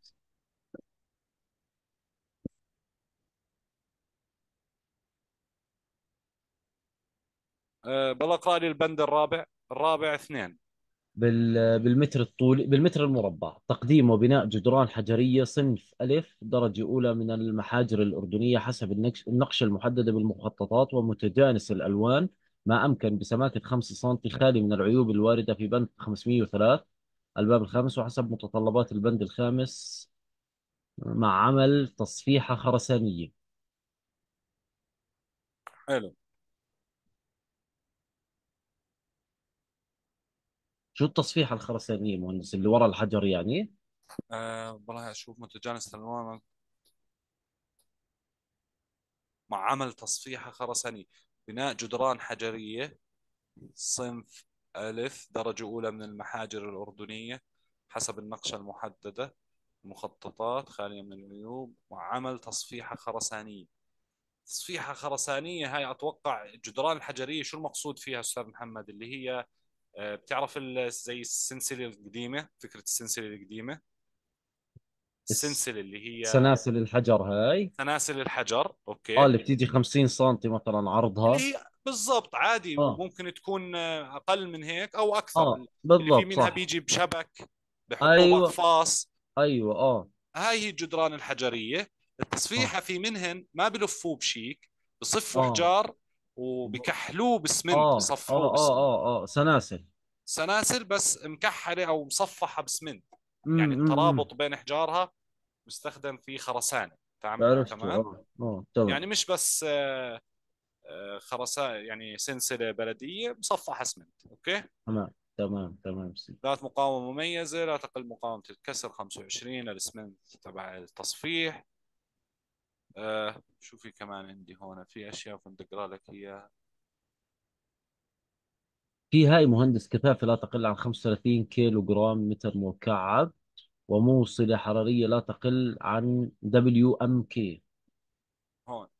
أيوه آه. كما يشمل السعر بناء الطوب بسماكة 10 ويشمل السعر تقديم وتركيب ألواح البوليسترين بسماكة 5 سم آه. البوليسترين بيجي ورا الطوب تعرف بالضبط. آه بين الطوب والحجر بيجي. مشكل بالبثق ذات السطوح ملساء وكثافة لا تقل عن 35 كيلو غرام للمتر المكعب اللي هو الوزن النوعي. آه للبوليسترين هذا. للبوليسترين نعم. آه ما هو بيجي بيجي بيجي البوليسترين بالمتر. بالمتر المكعب. آه بيجي البوليسترين بالمتر بس قديش قاسي آه. وقديش كثافته. تيجي بالكيلو غرام لقديش المتر المكعب فيه وزن؟ آه. أوكي؟ لأنه في متر مكعب خفيف وزنه زي الريشة. في متر مزبوط صح. مكعب تقدرش تكسره صح؟ مزبوط صح. فهاي هي الكثافة النوعية قديش وزن المتر المكعب. امم أوكي؟ وموصلية حرارية لا تقل هاي مواصفات البوليسترين. آه بالضبط. أوكي؟ سماكته خمسة. كثافته النوعية 35 وموصليته الحرارية 32% بالألف sorry. أها أوكي؟ تمام. حسب المخططات الهندسية.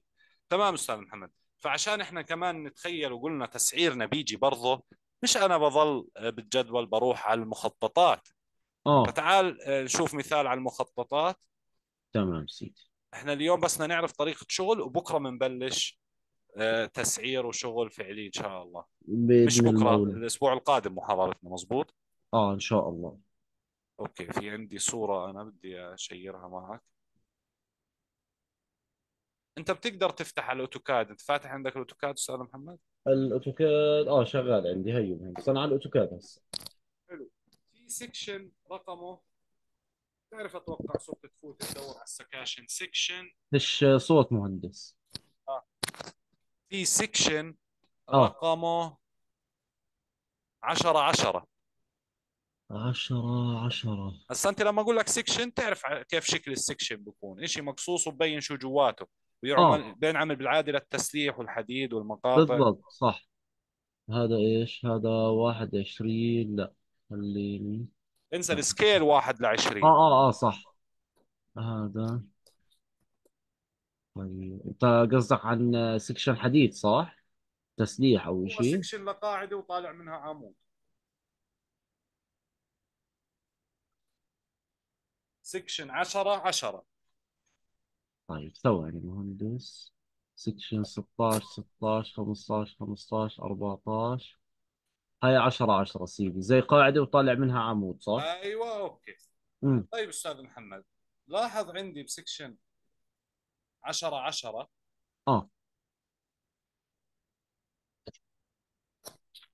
ثواني خليك معي. تفضل. أوكي. لاحظ عندي ب section 10 10 في عندي ال slab on grade هيها مبينة فوق صح؟ آه مزبوط شو في مكتوب تحتيها؟ آه عشت- آه 200 micron polyethylene. هذا شو؟ آه ال 200 هذا مايكرون. اللي هو ال- ال- شو اسمه؟ ال roll النايلون. بالضبط ال roll المشمع. آه. أنا باجي بدرس السكاشن وبروح على المواصفات الفنية على جدول الكميات بشوف شو بده. وهي مبين عندي على ال section أستاذ محمد. شفت كيف عرفته؟ من الرسمة. وشو في تحتيه هسه هاي هسه هو المفروض إنه اللي لونه زي برتقالي هيك جاي صح؟ خط لا لا برتقالي اقرأ. شو في تحت ال 200 ماكرون؟ إيش مكتوب؟ آه plain co plain con آه، concrete. plain concrete. امم بالضبط. اسمنت سادة. نعم. خرسانه ساده صبة نظافة يعني. صبة نظافة. وشو في تحت صبة النظافة؟ base course base course يعني هاي مواصفة زيادة. أها. شايف؟ صح. فهيك بعرف أنا إنه شو المواصفة اللي عندي. من اللوحات. بروح على اللوحة ال section وبقرأ. حسب. طب سؤال. هلأ أها. أنا قاعد بحسب بالطبقات اللي عندي. لا أسفل منس... الهياكل أسفل منسوب الأرض ولا فوق منسوب الأرض؟ لا هسه هيك تحت منسوب الأرض صح؟ تحت منسوب الأرض آه بالضبط. لأنه استعمل النايلون النايلون بديش فوق. بالضبط. وهيو بلش من ال slab on grade بالضبط ونزول صح. تحت هالطبقات. امم تمام؟ تمام. أوكي. ولاحظ شو في عندي منا... منا... آه كمان في مواصفة لأسفل منسوب الأرض. طلع على اليمين عندي في مكتوب 10 سنتيمتر solid block 10 سنتي على اليمين تحت. آه مزبوط صح. هاي صح برضو من آه. المواصفه اللي قراناها أستاذ محمد اللي كانن ورا بعض أصلا. آه. آه، صح. هاي خلينا لو نفتح عليهن. ان هن من أسفل منسوب الأرض. الهياكل أسفل. هاي أسفل المنسوب. قال لي في هون في عندي طوب 10 سنتي. بس خلينا نلاقيه سوا طوب ال 10 سنتي. آه قال من آه، طوب 10 سنتي ووراه اللي هو ال- البوليسترين 5 سنتي أعتقد صح؟ أيوه أو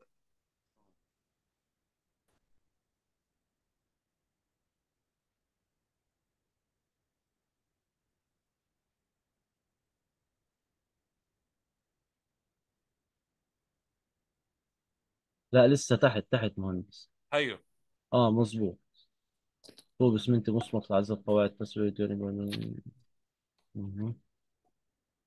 شفت شو في لعزل قواعد التسويه طوب مصمت 10 سنتي. هيو. 10 مزبوط سنتيمتر solid block. شو المقصود ب solid؟ سوليد؟ آه سوليد بلوك. سوليد ح... اللي هو اللي حكينا إحنا مصمتة كأنها. بالضبط. الطوب المصمت مم. شو في كمان بعديه آه 4 ملم water proofing membrane. بالضبط. اللي هي هاي شو؟ آه هيها. اللي هي آه, آه, roll آه رولات البيتومين العزل. بالضبط. أوكي. وشو في بعديها؟ بعديها يا سيدي العزيز عندك 2 سنتيمتر plastering شو يعني plastering قصارة صح؟ يعني عليك. هيهن الثلاث بعض البنود إلهن لوحات إلهن section آه، موضح. تمام؟ مهم. تمام تمام. وموضح لك وين الموقع تبعهن حلو.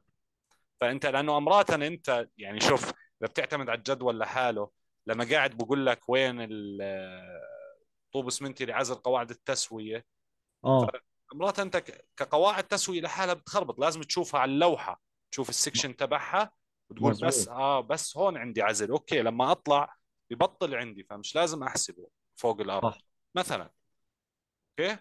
صحيح. فهاي هي اللوحات اللي انت بتجيب منها المعلومات اللازمة لتسعير المشروع أو لحساب كميات المشروع. تمام تمام سير تمام إحنا وين وصلنا؟ نقرأ المواصفات إحنا سوا المدنية يعني.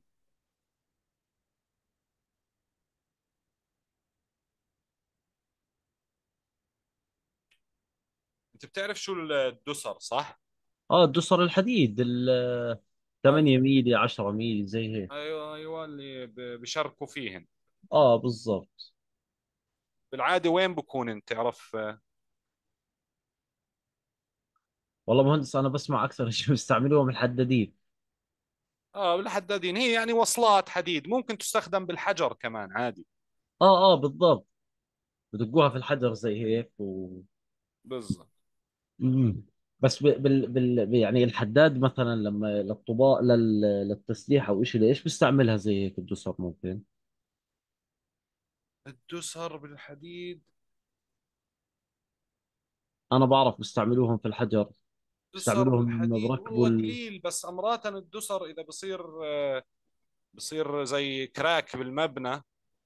آه. بحطوا دسر زي على يمين الكراك وبلحموها باليسار زي بتمسك. تشريح كراك إيش المقصود فيها هون اللي هو الشق أو الفتق أو الش... الكراك الشق آه.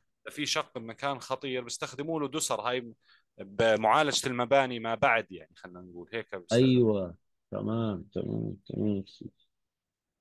تخصص ترى واسع آه، علاج المباني. انه لأنه بتعرف مثلا حدا عنده مبنى مكلفه بلاوي صح. آه، فبيجيب شركات متخصصة تعمل له صيانة بد بلاش ينهار أحسن ما آه يهدوا إيه. أكيد. وقلال ترى قلال جدا متخصصين فيه بالأردن. بت- بتهيأ لي مهندس بده يكون عنده خبرة يعني عفوا بالكلمة أحسن من اللي إنه بده يبلش جديد. بالضبط بالضبط. يعني م- موضوع الصيانة ترى مش مش سهل بالذات مش سهل وحساس وعليه مسؤولية أنت آه بالضبط صح. إحنا في ناس بقول يعني اخذت دورة عن الموضوع إجوا أعطوها عنا بالجامعة. حلو. فمهندس الصيانة هذا بقول إحنا يعني المشكلة بشغلنا امم بس تيجي على شيء بده صيانة. إذا إنه ما بزبط تقدرش تجامل وتشتغل وتعمل مصاري وهاي خلص. ما ما بزبط ما بزبط يعني. مش مش ورشة دهان بالضبط يعني ترد ترطب أو شيء يعني آه حساس الموضوع. فيعني صحيح. بس مشروع وقليل الموجودين فيه بيشتغلوا. صح. أوكي أستاذ محمد. تقديم وبناء جدران حجرية تلبيس صنف ألف متجانس الألوان ما امكن من محاجر أردنية. بسماكه لا تقل عن 5 سم خالي من العيوب الواردة في البند 503 إقراهن هذول بالبند 503 عيوب الحجر. عشان أها. تعرف كيف تستلم حجر بالمستقبل كمان. إن شاء الله. أوكي. تمام. فبقول لك هذاك هو المرجع تبعنا المواصفات الفنية. بالضبط آه. وحسب ما تقضيه طريقة تنفيذ والسعر يشمل شبكة حديد تسليح 8 ميلي لكل أها. 20 سنتي. أوكي بتحط قضيب عش- 8 ميلي كل 10 20 سنتي بالاتجاهين حسب المواصفات الفنية. أوكي؟ تمام آه خرسانة مسلحة آخره. جدران حجرية بسماكة كلية للجدار. 40 سم عن إذنك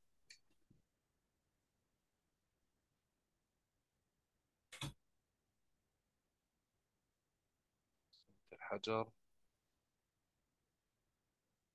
آه، اقرأ لي البند هذا تقديم وبناء آه طوب اسمنتي للجدران صنف ألف حسب البند 603 بقوة كسر لا تقل عن 3.5 نيوتن مليمتر مربع.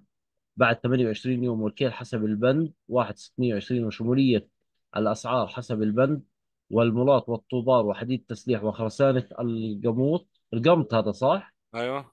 والسلاحات والجرسات حسب متطلبات البند وذلك المبنى وغرفتي مبرد الماء. أيوه بالضبط. يعني بده يبني طوب للقمط ولكل الأشياء هاي وبده آه. طوب 10 15 و20 وهاي مهندس والله المساحات سؤال القمط. هي نفسها اللي بتيجي العتبة اللي فوق الشباك أو الباب. أيوه بالضبط أي جسر فوق الإشي هذا بسموه القمط. آه تمام. بتعرف إحنا عندنا صبو وصب في ال- ما جبناه جاهز. آه أوكي. صبوه بالموقع ورفعوه ولا صبوه لا فوق؟ بدنا الطوب نفسه. امبارح والله نزلت عليه حتى.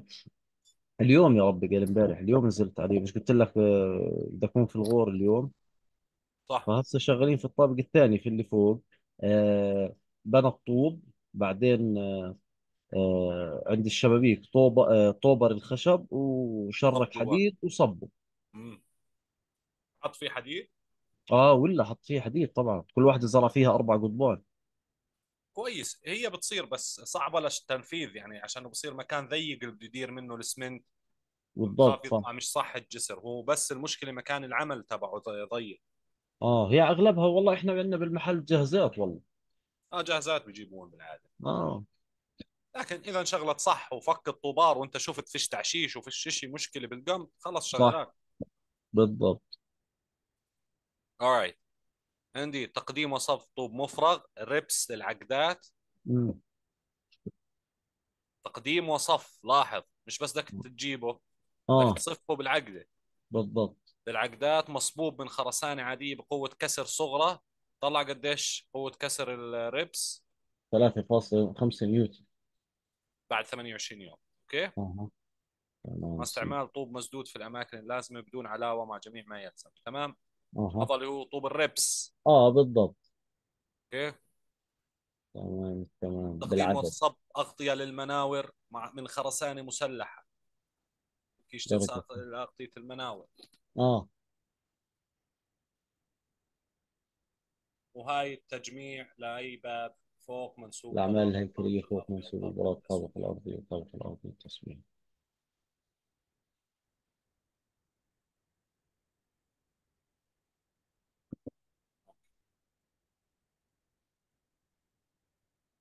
ثالثا نبلش هسه بأعمال الفينيشينج. نقسم الصوت مهندس آه سوري. أوكي سيدي. البند الثالث اللي هو الإكسارة أو الباب مم. الثالث الإكسارة أها. ارتفاع الشرائح المعدنية والزوايا المعدنية المستخدمة في الإكسارة يجب أن تكون بارتفاع كامل الجدار آه أو 3 متر هي بتيجي. أيوة. مم. آه، الشرائح المعدنية اللي هي كان شبك زوايا. جاج أو زوايا أو غيره. آه أو شبكة قصارة بالضبط. ما بصير تعمل وصلتين بالجدار لازم آه قطعة بالضبط. بارتفاع كامل أوكي؟ صح أو بكامل العرض. توقف الإقصار حيث تعليمات المهندس يقوم بتركيب الشرائح والزوايا المعدنية شمولا مشمولا ضمن أسعار البند دون مم. تمام. واضحة النقطة هاي القصارة واضحة سيدي. أوكي. نشوف أول بند بالقصارة الأول قلنا بيان العمل اللي هو أو اللي هو وصف للبند. أوكي؟ نعم. بعدين عندي واحد بالمتر المربع. تقديم وعمل قصارة اسمنتية من منتج الاسمنت والرمل مضاف إليها مميع حسب البند كذا والسعر يشمل زوايا معدنية. طبعا هذا أنا بالنسبة لي أي مشروع بدي أعمله هذول بعملهم copy و paste آه يعني بالضبط صح. ضروري يكون بالمبنى فضروري يكون بالعطاء عشان تلزم المقاول فيهن. أكيد أكيد يا مهندس. والزوايا الداخلية والخارجية. والشرائح تعرف المعدنية شو الفرق بين الزوايا الداخلية والخارجية؟ الخارجية بيجي لها زاوية ستانلس الداخلية ما بيجي لها لا لا هن كلهن زوايا بس لا بعرفهم مزعوا ايدي هم في المحل لما بنطلعهم زي يعني هيك. آه، بالضبط اللي هي يا مثلا الزوايا الخارجية اللي بتيجي على أطراف العمدان من برا. آه آه الداخلية بتيجي بالزوايا اللي داخل البيت. يا عيني عليك أيوه أيوه. شرائح معدنيه وزوايا توقف القصاره حسب البند. بتعرفها زوايا توقف القصاره الستوبر هاي. شو هي مهندس؟ زوايا توقف القصارة إيش زوايا توقف الإكسارة اللي هي بحطوها يعني آخر الجدران مثلا فوق. مش. ستوبر بورجيك عليها صورة ببعث لك عليها صورة. هاي يمكن يمكن لا صراحة. ما بتعرفها. ممكن لا. هسه بشوف لك إذا عندي لها إشي. آه، اقرأ لي بالله البند الأول ثلاث ألف. ثلاثة وجوه قصارى داخلية للأسقف والجدران وحيثما يلزم حسب البند 702 والكيل حسب البند 1 711 وذلك للمبنى وغرفة الحارس وغرفتي مورد الماء. واضح البند أستاذ محمد؟ آه بس ليش ثلاث وجوه مهندس؟ كثير. آه كثير. اللي هي بتقدر تعد لي إياهن؟ هسه هم بالعادة خشنة وناعمة بس شكله هنا رشة مسمار عنده بعدين خشنة بعدين ناعمة. أيوة اللي هي آه، بيعمل آه، رشة مسمار. خشنة؟ آه بالضبط. نعم خشنة وناعمة آه. بس هو يعني الشغل المتعارف عليه خلينا نقول 99% من الناس بخشر وبعدين بناعم. آه والله مع الأسف. بس هي رشة المسمار آه بتخلي لك آه، طبعا. بتعرف والله بالمشاريع الدرجة الأولى كنا نستلمها آه. آه، يعني نستلمها م- أهم من الخطوات اللي بعدها. تتخيل رشة إيش المسمار قديش امم تفرق.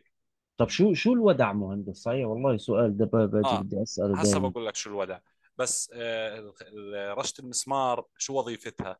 آه. ورشة المسمار بتعمل زي وجه خشن عشان الاسمنت يفوت بين الدبابيس هاي ويشرك تشريك. آه. هي مش بتعمل التصاق أقوى للقصارى على الجدار.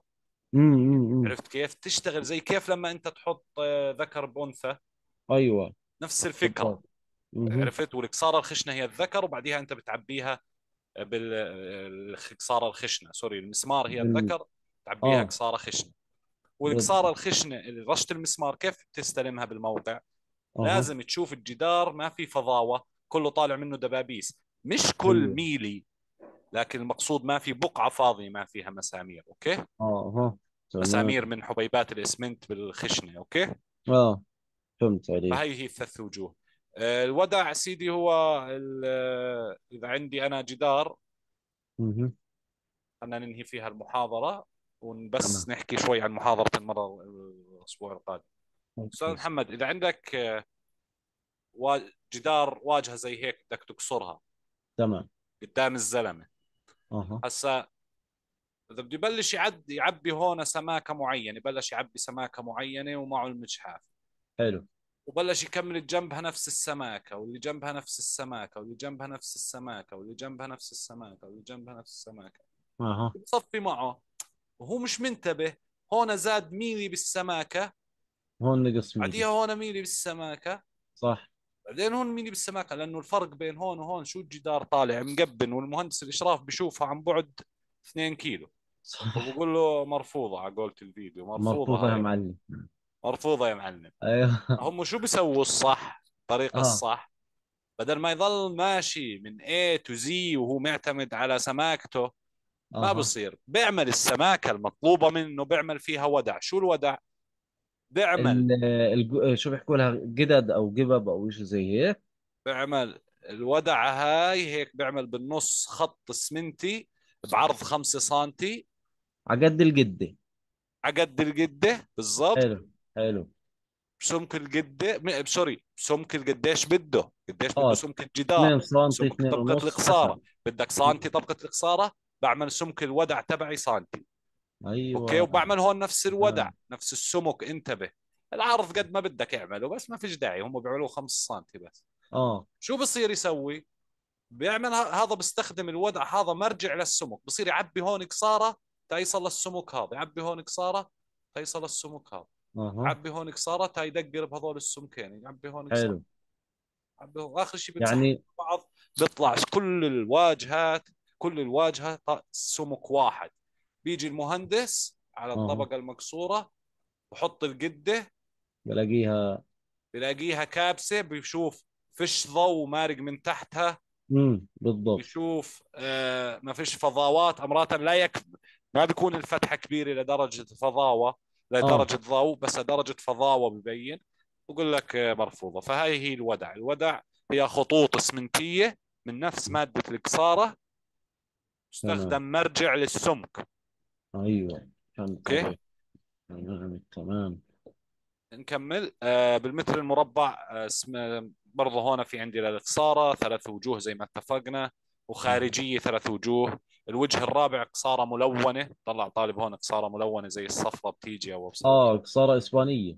أيوه مقاومة للعوامل الجويه إسبانية. مقاومة. للعوامل الجويه وهو كذلك. وللجدران برضه وبيت الدرج وحيثما يلزم مناور تصوينه إلى آخره. بتعرف شو التصوينة صح؟ نعم. نعم. تصوين المتر اللي فوق السطح. يعني عليك اللي هي آه المتر فوق السطح عداير المبنى. بالضبط suspending ceiling تركيب سقف معلق حسب متطلبات متطلبات البند mineral fiber tiles أتوقع هذا زي الاسقف المعلقه لكن البند ما ما- مش متأكد منه أنا الصراحة. ال- ال false ceiling مثلا أو شيء هلا هو. suspended ceiling هذا. أنا بقول آه. لك شو suspending ceiling زي ال false ceiling آه. بس بكون ثب مقدوح بالعقد بالسقف أها. زي آه، تباشيم وأسافين ونازل منها آه، سلاك معدنية شايل مم. البلاطات بلاطات السقف. زي ال false ceiling بس suspended معلق تعليق. هلا ال false ceiling انت عارف شبكة ومثبتة على الجوانب وكل فترة بثبتوها فوق صح؟ آه بالضبط صح. هذا لا بيجي كله معلق أوكي؟ أيوه. تمام. suspending ceiling وفي كمان suspended floor أرض مرفوعة. آه هاي شفتها.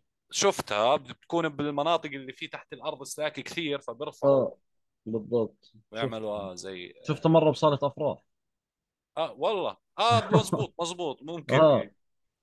أوكي. آه ال suspended ceiling بده mineral fiber tiles. أوكي. البلاطات اللي بدك تعلقها هاي تكون أبعادها 60 ب 60 والسماكة كذا وتكون. mineral fiber يعني آه شعيرات مكونة من mineral من أصل معدني. أها. أوكي؟ تمام. وهاي التجميع لأعمال القصارة.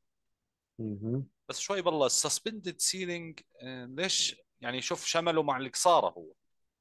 آه بالضبط صح. اللي هو اثنين الباب الث- البند الثاني من بند الثلاث ممكن قصار ممكن عشان ما يكسر السقف مهندس.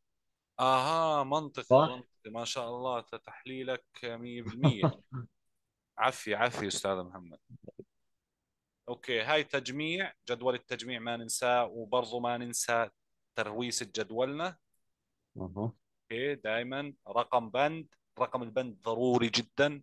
وصف. العمل مقدمة وبوصف كل فرع من عندك من العمل إذا في فرع واحد كويس أكثر لازم توضحه. الوحدة وحدة مهم. القياس كمية سعر سعر إجمالي. وجدول التجميع كالعادة. مهم. أعمال البلاط والأرضيات والأدراج بده بلاط بورسلان fully vitrified semi glazed بتعرف شو ال semi glazed؟ لا ال glazed اللي هو اللي فيه لمعة. آه. ال semi semi يعني شبه اللي فيه لمعه بسيطة يعني. لمعة بسيطة واللي هو هيو. سادة بوجه مهشر. سادة أها. بوجه مهشر. sorry semi glazed مش ترجمة هاي يعني. أوكي؟ هاي المقصود إنه سادة بوجه أها. مهشر وال semi glazed مقصود إنه ما في لمعة قوية. تمام. مصقول مانع للانزلاق في non slip أوكي مصقول يعني مبروش مكحوت عشان ما يعمل slip. حسب المخططات. وامتصاصه هذا اختبار للبلاط والامتصاص. يعني آه مرات بلاط آه، مشاريع معينة بتطلب فحص للبلاط نادرا لكن المشاريع الكبيرة تطلب. صحيح. وأمرات المورد بيعملوا حسابه لأنه مودي كميات ما عنده مشكلة وواثق من بضاعته أكيد. أوكي بقوة كسر كذا كذا.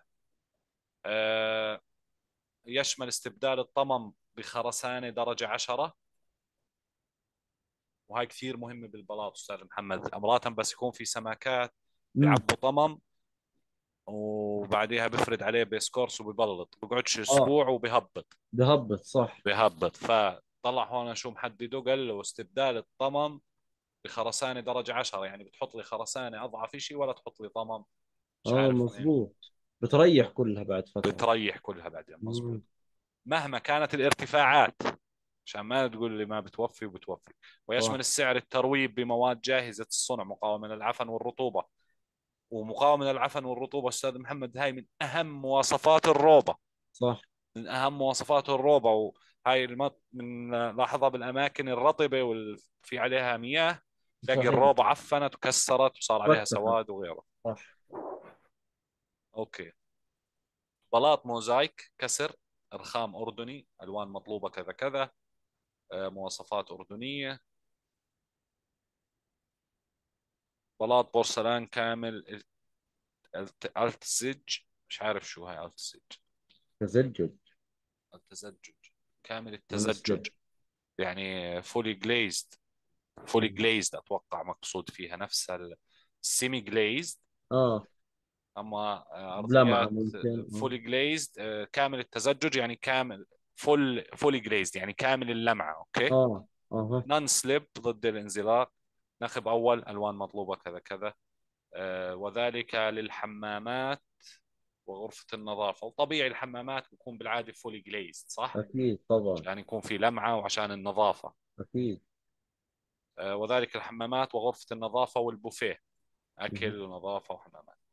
ما حكاش عن غرفة الحارس. ما حكاش عن غرفة الحارس. الحارس خلصنا منه غرفة الحارس. غرفة الحارس شكلها كاينة من تحت الأرض لأنه من لكونا فيها.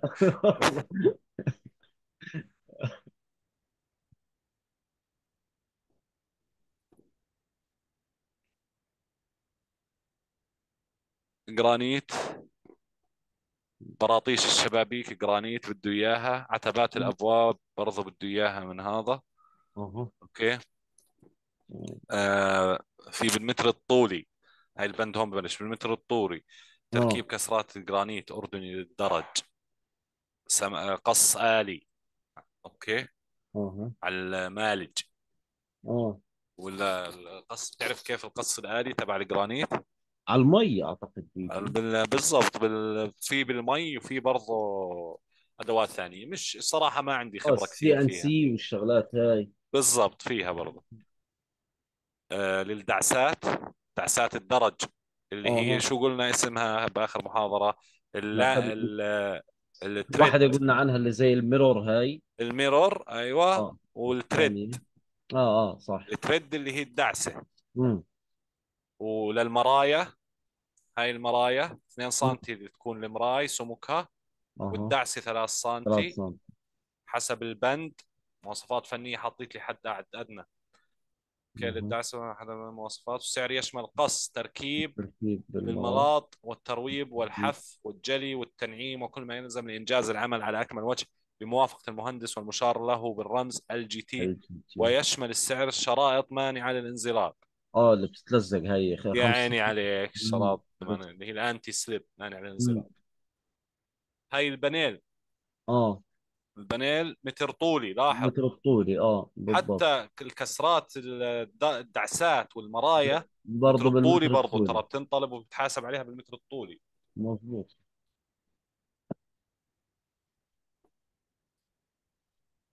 مهم. OK أستاذ محمد. تمام بدي أوقف التسجيل. OK sir